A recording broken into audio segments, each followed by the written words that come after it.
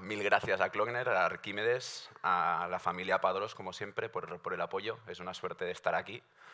Y nada, vengo un poco, como decía ahora Antonio, bueno, con el tema del dilema que tenemos que nos, se nos presenta muy a menudo en casos reales, de si vamos a optar por la cirugía, vamos a optar por la prótesis. Esta charla hace tiempo que la estamos haciendo con el doctor Albert Bert He intentado resumir lo máximo, porque tenemos muchas diapositivas artículos, para ver la parte importante, digamos, para presentar la prótesis como una primera opción, no como una segunda opción. Muchas veces la gente se cree la prótesis como una segunda opción en cuando la cirugía no ha ido bien. Y veremos que lo que hay que hacer realmente es analizar bien el caso y hacer bien un diagnóstico correcto. Vamos a empezar con una diapositiva muy básica, los criterios estéticos fundamentales, en los cuales todos los conocemos. Hay estos 14 puntos principales de estética. Es un checklist del doctor Usberser, rectificado por Pascal Magne, pero lo importante de estos puntos, todos son muy importantes, pero van por orden. O sea, los primeros es de más importancia a menos importancia. Y si nos fijamos en los cinco primeros, veremos que cuatro de ellos, menos el tercero que nos habla de los ejes dentales, nos hablan de la arquitectura gingival. Vemos salud gingival, troneras gingivales, llenado interdental, el cenit del contorno gingival y equilibrio entre los márgenes gingivales. Por lo tanto, es lo que vemos a menudo en todos los congresos, hablamos de la famosa papila y de ser exigentes realmente en cuando tenemos situaciones ideales o no. A partir de aquí tenemos la gran importancia de este equilibrio, la importancia de la estética rosa y la estética blanca, y tenemos que ser muy autocríticos con nuestros casos y ver realmente en cuando nos estamos moviendo en situaciones de éxito o en soluciones de compromiso. Muchas veces creemos que estamos en situaciones de éxito y estamos en una situación, en una solución de compromiso. El paciente se va contento, nosotros estamos contentos, pero no estamos en las proporciones ideales que serían las que tenemos en la naturaleza. Y para eso tenemos que fijarnos en el marco de la sonrisa, muy importante. Nos da igual trabajemos en resina, composite, cerámica, lo interesante es valorar el conjunto. Y a partir de allí, si nosotros respetamos esas proporciones, tendremos una estética adecuada. Si no, nuestras prótesis parecerán artificiales. Y esta diapositiva es una de las más importantes, porque ya digo, he tenido que acortar toda la parte teórica, o si no, no nos da tiempo, pero es un pequeño resumen de las conclusiones de las que llegamos viendo los artículos de Hodgman, Tarnow, Chu, en el cual Hablan primero de, la proporción de las papilas. Las papilas siempre ocupan un 40% del diente, siempre. Muchas veces pensamos que entre centrales la papila es más larga. Eso es un error. Eso viene condicionado porque lo que realmente pasa, se abren las troneras nicisales, se reducen los puntos de contacto y es un efecto óptico. Pero la papila siempre ocupa el 40% del diente. Y el último punto, que es el más importante, este, cuando hicieron un estudio con, con dentición naturales, cogieron pacientes y les hacían una foto frontal y dos fotos laterales y vieron, analizaron pacientes tanto de sonrisa baja hasta sonrisa alta y vieron que entre el 87 y el 91% de nuestros pacientes muestran las papilas. Eso no quiere decir que enseñe la pero sí las papilas, en lo que hemos visto antes, en el marco. Si nosotros no respetamos este marco, colocaremos prótesis que se parecerán artificiales. No estaremos en las proporciones ideales. Nos tenemos que acercar lo máximo a esa naturaleza. A partir de aquí hacemos un pequeño simulacro de la mayoría de casos de estos que hemos estado viendo en cual tenemos que hacer regeneraciones. Por ejemplo, viene un paciente a la consulta, tiene problemas periodontales, es una pequeña simulación, tenemos que extraer estas piezas, ¿qué pasa con nuestra encía? Se nos va para arriba. Empezamos a trabajar el provisional, sea un provisional de CAD-CAM, como queramos, da igual, empezamos a hacer presión en el tejido, lo que hemos estado viendo hasta ahora, y conseguimos esto, Pseudopapilas. Hasta ahora, las tres primeras diapos hemos estado hablando de papilas, de las proporciones ideales, pero no llegamos a una situación ideal. Nosotros lo que tenemos que echar de menos es esto, porque esto es lo que se ve en el marco de la sonrisa y hace que nuestras prótesis no parezcan chicles, dientes cuadrados, lo vemos muy a menudo, regeneraciones 4 o 5 milímetros para llegar a una situación que no es ideal, que terminas poniendo pastillas de chicle. Hay que respetar eso. Entonces, ¿qué pasa? Con las proporciones que nos había dado Hodgman, Chu, Tarnow del análisis que habían hecho de denticiones naturales, el famoso 40-40-20, 40-30-30, 40-20-40, lo perdemos en estos casos, vamos a cerrar nuestros triángulos negros, alterando totalmente las proporciones que serían ideales y terminamos haciendo dientes cuadrados. Lo intentamos enmascarar con maquillaje, lo que queramos. Va a quedar artificial. Tenemos que echar de menos lo que serían nuestras papilas. Si no, vamos a presentar prótesis que no son naturales. Nos encontramos con este caso. ¿Por dónde vamos? Cirugía, prótesis. Este caso os lo enseñaré al final. ¿Qué nos planteamos aquí? ¿En qué casos utilizaremos encía rosa?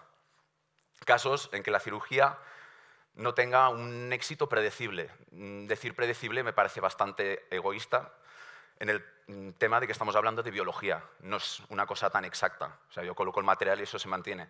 Está claro que la cirugía tiene reabsorción, puedes tener muchos problemas, muchas complicaciones.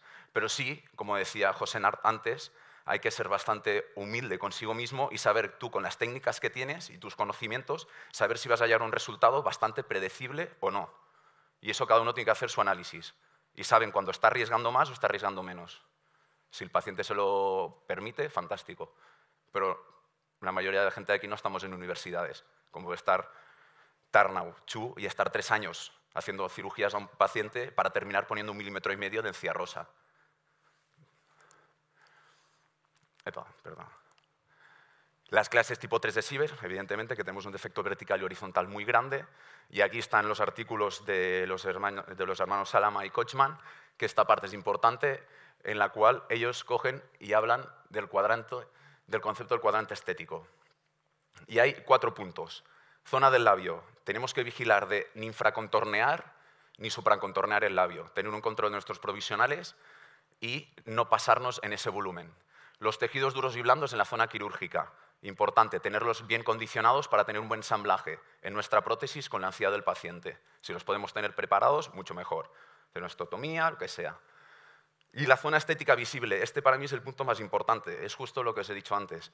Si yo tengo un paciente que tenga un defecto muy arriba, debajo de la nariz, ¿para qué voy a estar haciéndole cirugías, bajar 4 o 5 milímetros para ponerme en una zona estética visible, en la zona crítica, en la cual yo para hacer un ensamblaje con una prótesis me había complicado la vida, tendré un tejido fino, cicatrizado, lobular, con distintos colores, que será muchísimo más difícil complicar, muchísimo más difícil, perdón, copiar.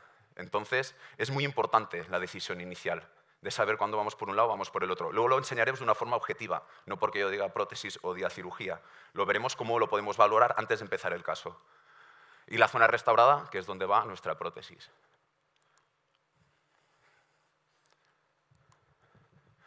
Por lo tanto, cirugía versus prótesis. Yo no haré cirugía porque me guste operar, sea periodoncista o por mi ego. O por el otro lado, no haré prótesis porque yo sea prostodoncista o sea protésico. Sino que hay que analizar bien el caso, no es una cosa subjetiva, es una cosa objetiva. Y a partir de allí, decidir si vamos por un lado y vamos por el otro, de una forma objetiva. Ahora en los tres casos que os voy a presentar, vais a ver realmente en el segundo caso que solventamos en prótesis de qué manera se puede analizar para saber hablar con tu equipo en la clínica y ver si realmente vamos por un lado o vamos por el otro, de una forma objetiva. El primer caso vamos a verlo resuelto en cirugía, el segundo caso en prótesis y el tercero en prótesis por culpa de malas decisiones iniciales. Ya no teníamos margen de error. Voy a presentar el primer caso, caso hecho con Juan Sofía, en el cual se le presenta este paciente con un puente de metal resina antiguo, vemos la situación en la que estamos y vemos realmente que ya hay algo que no nos cuadra. Las proporciones no son ideales. En este caso hacemos un pequeño DSD simplemente para saber realmente a dónde van los cuellos, dónde queremos esa arquitectura gingival para mantener realmente un equilibrio entre la estética rosa y la estética blanca y ver realmente la dificultad que tiene este caso. Justo en cuando, en este caso, Juan retira esta resina, vemos realmente dónde está. Este eran dos implantes que salían por vestibular y tuvimos que ir a cementar sí o sí. Y la paciente no estaba por la labor de quitar estos implantes. O sea, se tuvo que hacer todo con tejido blando. A partir de aquí, Juan empieza a hacer de las suyas. Primer tejido, ah, primer, perdón, primer injerto, sutura, la maduración a los tres meses. En una segunda reentrada coge, hace segundo injerto, para poder llegar a conseguir las papilas que buscamos. Y vemos el resultado después de haber trabajado los provisionales. Vemos de dónde partíamos y dónde estamos ahora. Un año y medio de provisionales. pero vemos nuestra arquitectura gingival. Situación final, hacemos en este caso un puente de dos lados de circonio cementado encima de pilares de titanio. Aquí el mérito, lógicamente, es de la persona que está operando y luego saber manipular los tejidos. Yo en este caso, por ejemplo, le mandé a Juan unos pilares con unos chamfers, él retiró los chamfers, hizo como una técnica Bob, él sabía dónde quería llevar realmente el tejido y eso es la lectura que hace la mayoría de gente que opera. Y el antes y el después. Importante. Ventajas. Estética rosa más natural, sin líneas de unión. Bueno, lo compro. Hoy en día con las cerámicas que tenemos podemos hacer muy buenas transiciones, pero bueno, prefiero si tengo un margen delimitado, una corona, porque la encía está perfecta, pues genial. Segunda, higiene más favorable, sin faldones. Sin faldones lo pongo entre paréntesis porque cuando hacemos nosotros prótesis nunca hacemos un faldón. Ya sabemos la problemática que un faldón, a menos que tengamos un implante que nos sale por vestibular y tengamos que esconder toda la parte del gris, siempre estás ensamblando en plano. Pero vale, higiene más favorable sin faldones. Sin embargo, en estos casos de cirugía me pesan más los inconvenientes, las desventajas. Muchísimos procedimientos quirúrgicos. El segundo, dificultad técnica. Esto está al abasto de muy poca gente. Tienes que conocer muy bien las técnicas para poder llegar a ese resultado. Poco predecible.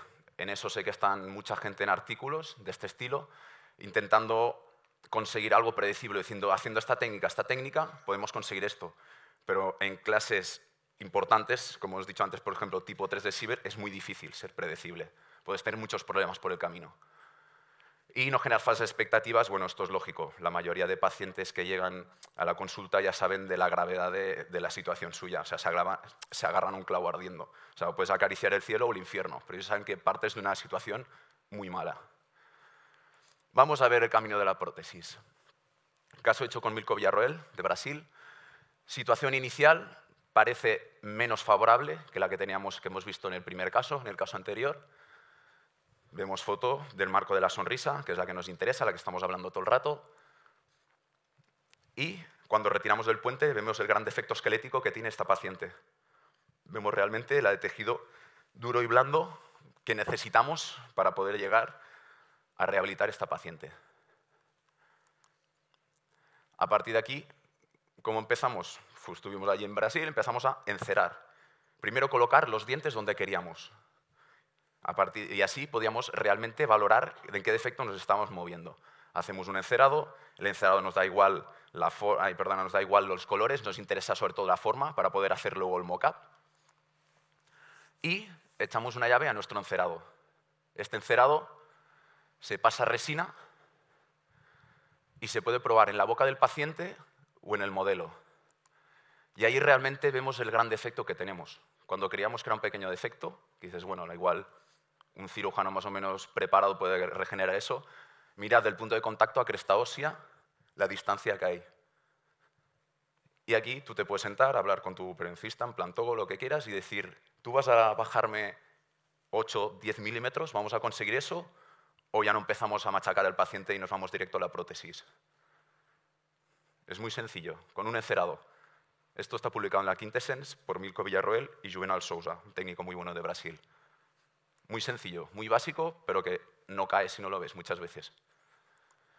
Pasamos nuestro encerado a un mock-up, lo estratificamos en boca para poder tener el color de la encía, el color de diente adecuado, y hacemos un poco las mediciones, justo lo que estamos diciendo, para ver un poco los defectos en los que nos movemos. Vemos entre centrales que estamos en un defecto de unos 8 milímetros, vamos a quitar un pelín de abajo, y entre la pieza 11 y 12 pues estamos en un defecto de unos 10 milímetros. Ya sabemos que no merece la pena irnos por el camino de la cirugía, demasiado ambicioso o muy complicado, como lo queráis decir. Hacemos el mock-up, lo trasladamos en boca, nos gustan las formas, línea comisural, línea labio inferior, bipupilar, etc. Tenemos los colores, nos gusta la estética. Milko quería hacer este tipo de, forma de diente. Y vemos el gran cambio en cuando le hemos retirado la primera vez su puente, que parece una clase tipo 3, a cuando realmente hemos festoneado bien toda la parte del labio, del filtrum, y está en la situación que tiene que estar. Vemos cómo cambia totalmente. Esto lo, lo, controla haciendo fotos de perfil al paciente durante 40 minutos. Va haciendo cada 2-3 minutos fotos para ver realmente cuánto de volumen está cogiendo el tejido. Toma de color. En este caso, como yo estaba allí, también pudimos hacer unas pequeñas muestras con la misma cerámica, que siempre es más exacto, más que la propia guía.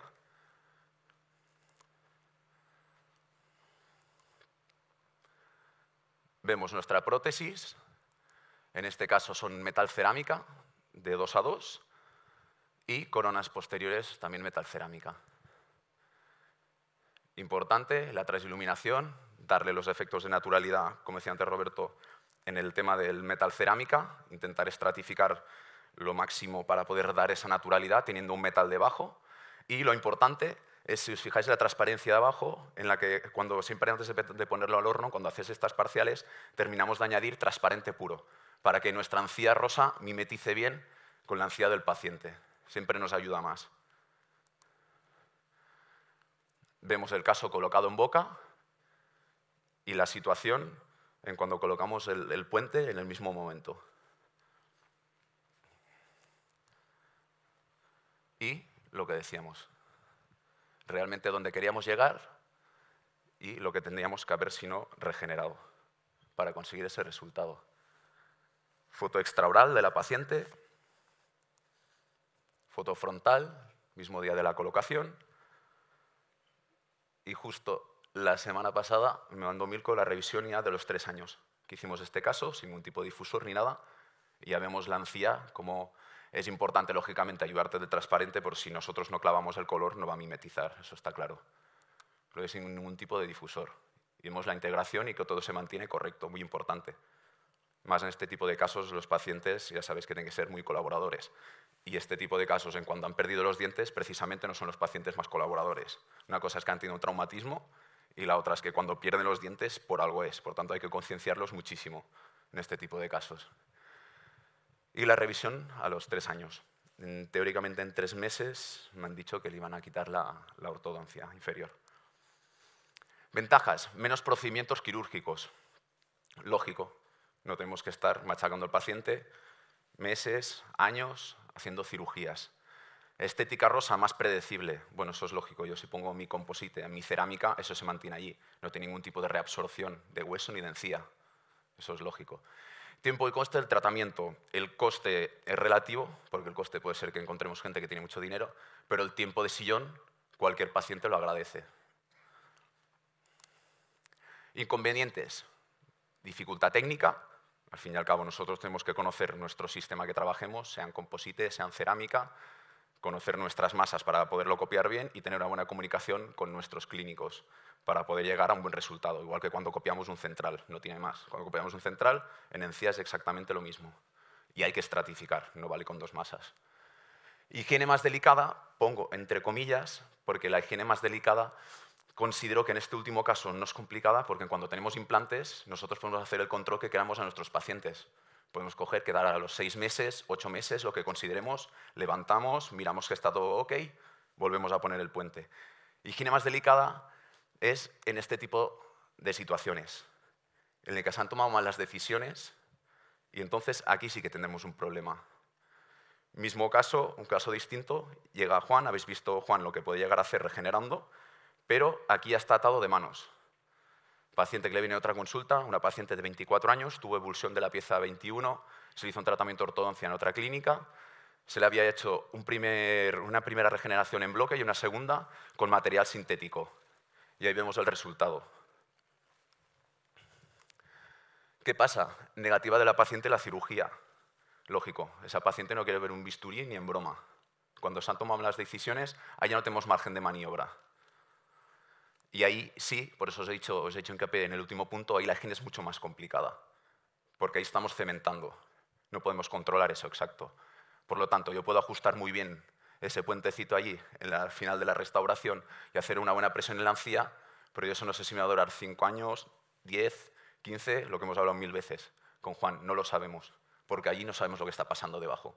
No tenemos la oportunidad de desatornillar y hacer un control, es distinto.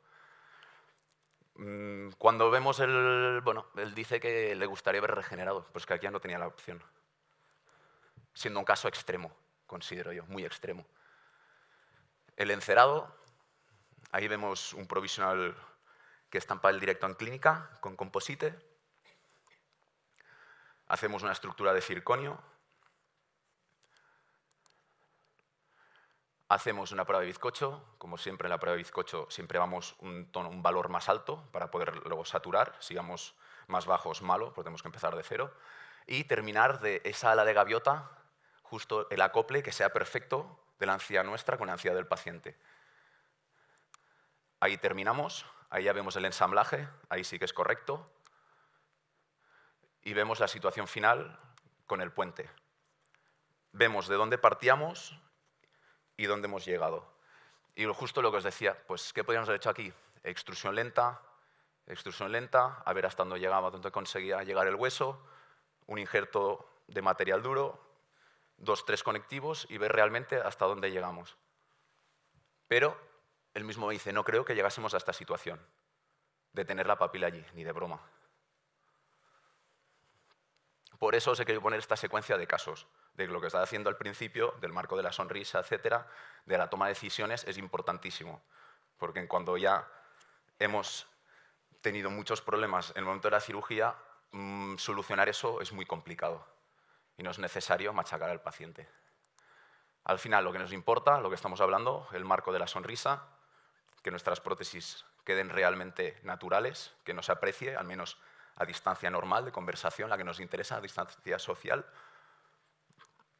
y después de haberos dicho todo, todo esto, de haber intentado concienciar a la gente de que hay que mirar si regenerar, no regenerar, pues bueno, como con Juan no nos entendemos, porque siempre hablamos de fútbol o de mujeres, él coge y se lía a regenerar.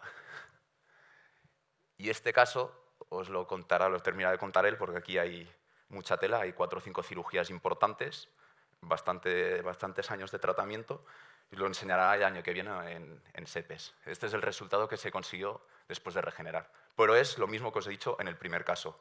Llegar a eso es muy complicado, muy difícil.